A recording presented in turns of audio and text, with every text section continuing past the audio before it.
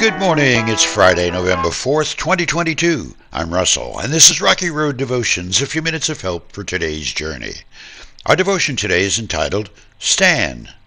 And our scripture is Micah's prophecy, chapter 6, verse 8. No, O people, the Lord has told you what is good, and this is what he requires of you to do what is right, to love mercy, and to walk humbly with your God. On Wednesday, we said goodbye to Stan Bingham, a friend and church member. Only time and the unfolding of life's mystery and purposes of God will tell the total of Stan's doing right, loving mercy, and walking humbly with his God. However, I strongly suspect the tally of all that will not do his memory any harm in his new home, a place not made with hands, where he sees clearly what he has meant to the countless people his life and kindness touched, as well as the love with which his Savior Jesus Christ embraced him. I'm writing this on Thursday, the day before you read it, and the day after the gathering of saints and sinners to say that goodbye, and I am as exhausted as I have ever been, maybe more. Being in a sizable crowd and responsible to lead a service for someone who is a legend in North Carolina's legislative chronicles, well, my supply of energy isn't grand to begin with. Yesterday ran the tank dry. I feel a little like one of Stan's dogs that I read about in a story posted in Lexington's Dispatch about the VW that Stan had converted to run on used cooking oil.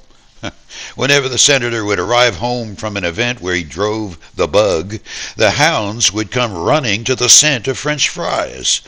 Stan said he feared he'd not get to them in time to keep them from killing themselves on fry fumes. From saving his old dogs from themselves to more than 170 bills passed in the legislature over 16 years, Stan was always shooting for doing right, loving mercy, and being humble enough to not care who gets the credit.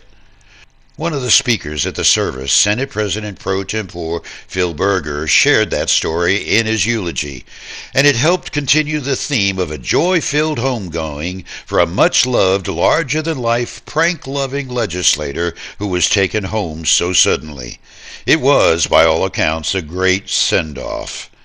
As a personal note of observation, tempered by 75 years of watching people, more than 40 of those years being a people watching pastor, I can say that I was most impressed by a mother and her four daughters, Stan's closest family, long used to the press and the fishbowl of public life, but less mindful yesterday of the presence of all the trappings of that life rather focused on celebrating the joy of a man who loved and lived his life working for justice and mercy, all the while walking humbly with his God.